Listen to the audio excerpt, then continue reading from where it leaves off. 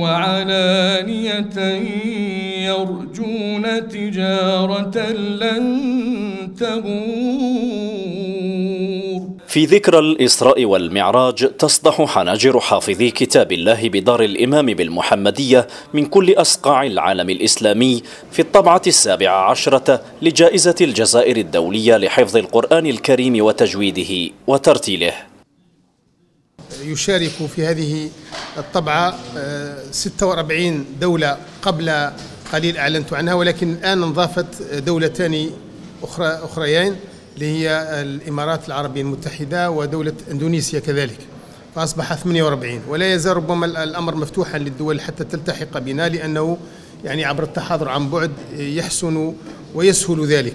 ثم الشيء المميز أيضا أن هذه المسابقة في الدول المرشحة لأبنائها وطلبتها تقام داخل مقرات الهيئات الدبلوماسية عندنا قنصليات أو سفارات.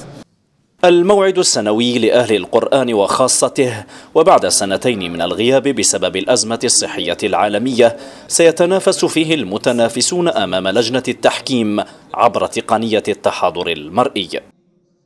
رأت الجزائر أن تبقى مستمرة مواصلة لهذه المسابقة الشريفة المتعلقة بكتاب الله عز وجل فجهزت أحسن وأحدث التجهيزات من أجل أن يكون التواصل بيننا وبين أبناء العالم العربي والإسلامي الذين يجلسون الآن في المقرات الدبلوماسية التابعة للجزائر.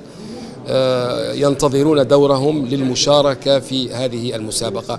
نحن نقيمها مسابقة عالية من طراز عال وهو استغلال أمثل وحسن لوسائل التواصل. نحن الآن نستغل وسائل التواصل فعلا وبحق في خدمة القرآن الكريم.